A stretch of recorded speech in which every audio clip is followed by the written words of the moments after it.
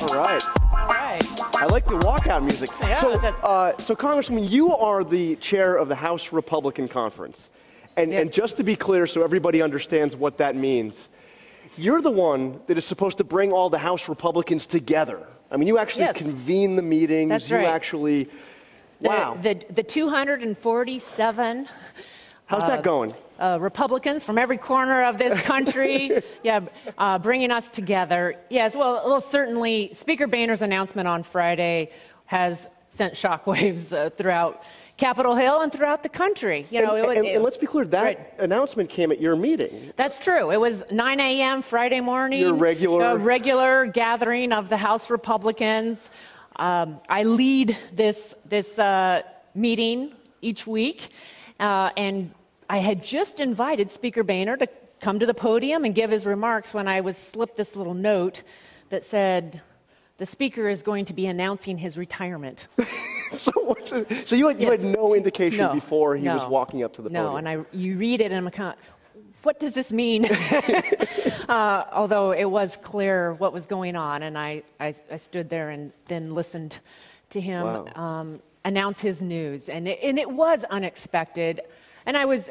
I really thought that we were in a better place. The Pope had just been to Capitol Hill, first time for the Pope to visit, address a joint session of Congress, and, and it had been such a positive day for, for Congress. And then, then um, obviously, the Speaker decided later on um, that evening, on Thursday evening, that, you know what, might be time for me to go.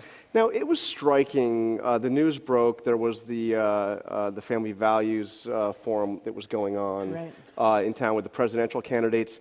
And the presidential candidates, including Marco Rubio, Ted Mm-hmm. Cruz especially, when they, they they were celebrating this news as if this was some great victory, in the case Mm-hmm. Right. of Ted Cruz, that, uh, that, that John Boehner had been vanquished. I mean, he's the Republican Speaker of the House. Right. Could- how do you, in, in brief, assess his legacy? Because so many other Republicans have been so critical and, frankly, like ungracious since, since he left.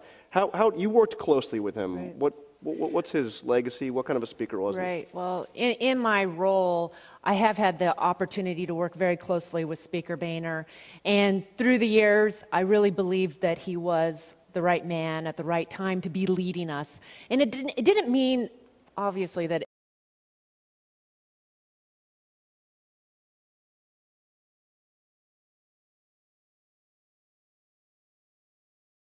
done or gotten more than what he did.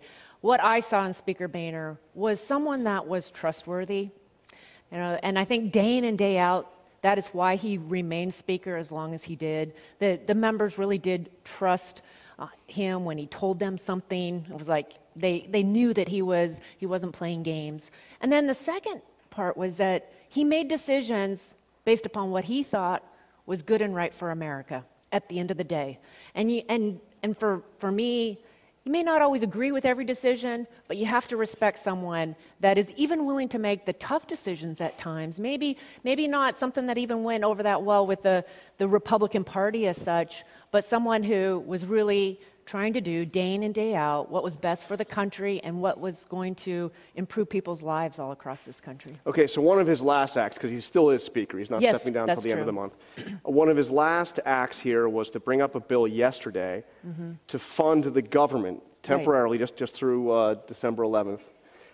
I was amazed to watch that vote yesterday. You voted yes. You Mm-hmm. I did. voted, you voted against the government shutdown yesterday. 151 House Republicans voted yesterday to shut down the government.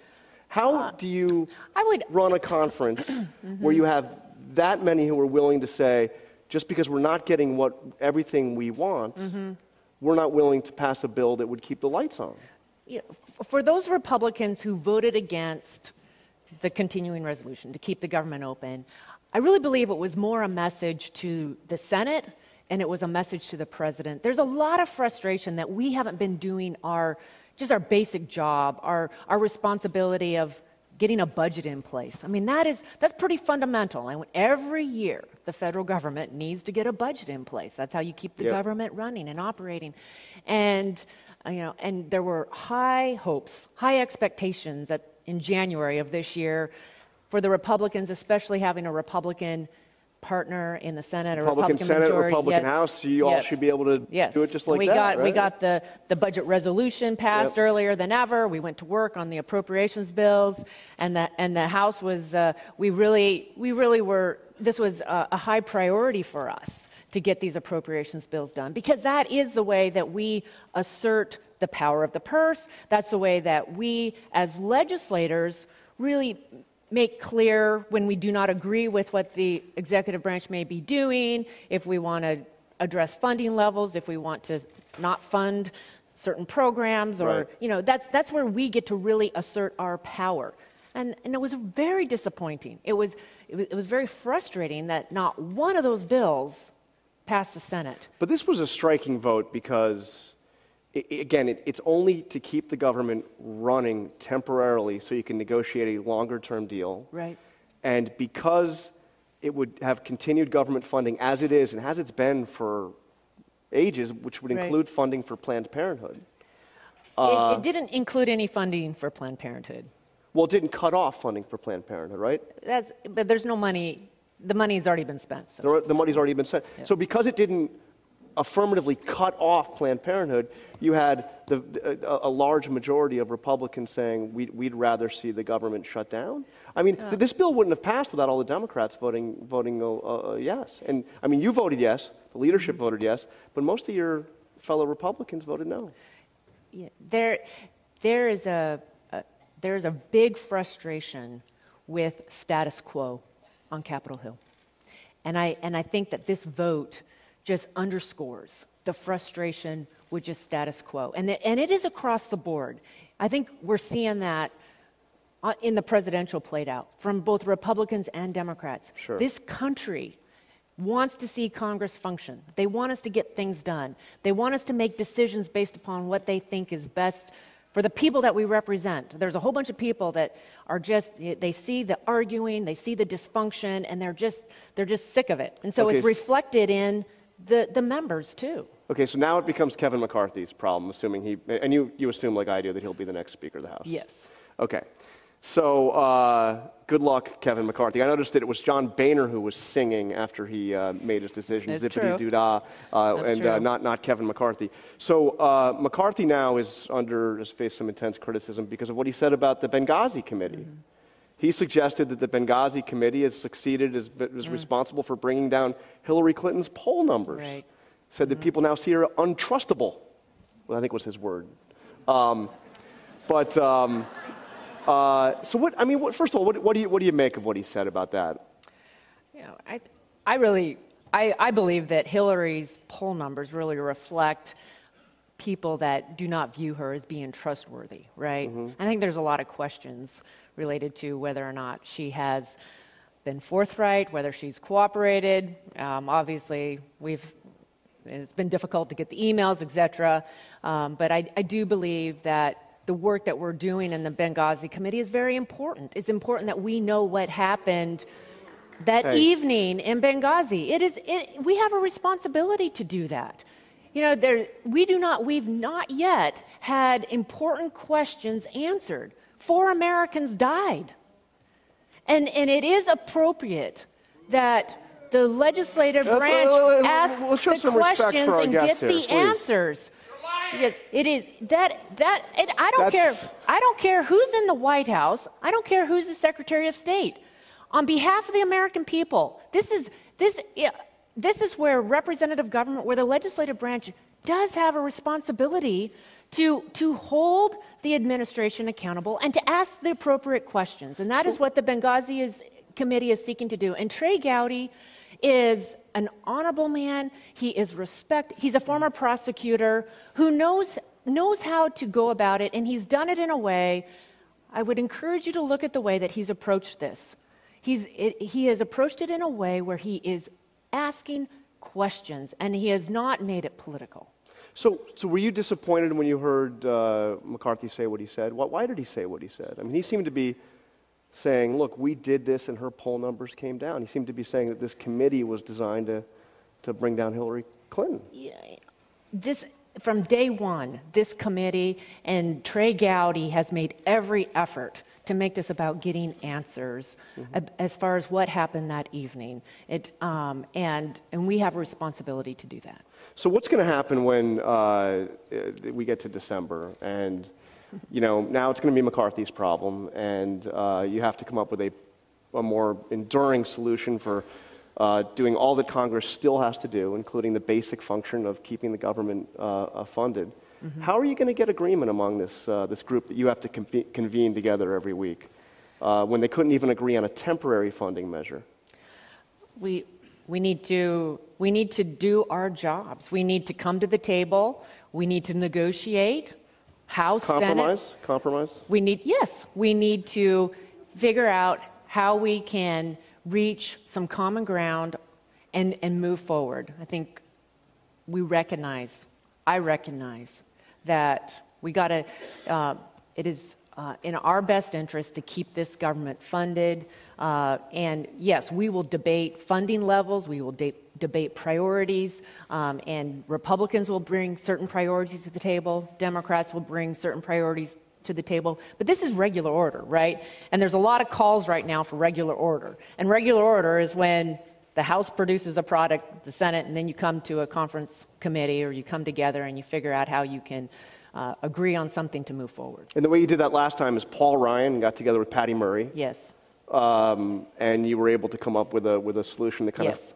of averted crisis right. for, for two years, but right. now that's, that's expiring. You've got the debt ceiling, we yes. face the possibility of default. Yes. And you've got uh, this, this uh, question of how to fund the government with the Planned Parenthood issue hanging out. And you have a large portion of your conference, Republicans in the House, who say that they'd rather shut the government down um, than, than see Planned Parenthood continue to get funding and some who say that they don't want to raise the debt ceiling, uh, you know, no matter what. How, how do you deal with yeah. that? What, what, what we are doing, what we are proposing as it relates to Planned Parenthood, and there, these, these videos have raised serious concerns, and, and it is appropriate that we do an investigation.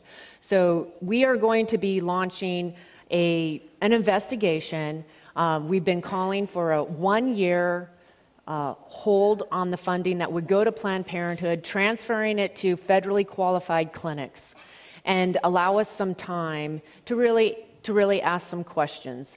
Um, it, you know, there should not be taxpayer funding used for abortions, and this is an which this, is the, which is the current law. Which is the current law, and and that is through our investigation we're going to ask those questions and we're going to get some clarity. And I, and I think people should recognize that that is, that is a, an appropriate path for us to take, and it's a, a thoughtful approach to some really um, concerning videos that have been released. Well, that's going to be quite a battle. I want, we, don't, we, we don't have much time left. I, have got to ask you about the presidential campaign. I, I believe I, I noticed uh, this morning that the current frontrunner is still a gentleman from New York named Donald Trump. What are the chances that he's the Republican nominee? I don't see it happening. uh, Donald Trump is a great entertainer, and his, his slogan, Make America Great, has certainly struck a chord. Um, but I, I, I'm very proud of the fact that we have a very diverse field. I think that that is, that is um, it's exciting to see the Republicans that, are, that we have U.S. senators, we have governors, we have people from the private sector that have been very successful. I look at where we are as a party, and you know, the Republicans, we want to be the party of the future. We want to be the party that is really um, embracing new, new ways, you know, challenging the status quo and, and addressing outdated models that are not meeting the needs. Look at, the, look at these agencies. Look at, the, look at the Veterans Administration that is failing our veterans. I mean, these are, these are outdated models. And I'm excited about a party that is really um, not just on the presidential side, in the House right now. We have the next generation of conservative leadership. We are. Uh, we've had two thirds of the Republicans in the House elected in the last five years or less. You know, there's been a lot of turnover, there's a lot of new blood, there's, and there's people that ran for office because they're really concerned about the direction this country is taking. But even more funda- fundamental than that, I believe that there is a fundamental fear that we are losing our government, that we are losing representative government. When you see so many decisions being made outside of Congress, uh, out, you know, being made by the legis- or by the administration, by the executive branch, or by the judicial branch.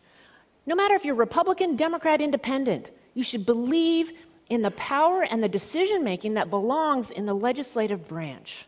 And that is what I believe is the number one priority right now is to restore trust and confidence in the legislative branch on behalf of the people of this country. So if we can do our jobs, if we can figure out how to be more effective in the legislative branch, restore the trust on Capitol Hill, I believe that's the best thing that we could do for people all across this country. All right, well, it's going to be quite Okay. a challenge in the Okay. weeks ahead. Thank you very much. Cathy McMorris Rodgers. Appreciate it. Great, thank you. Thank you.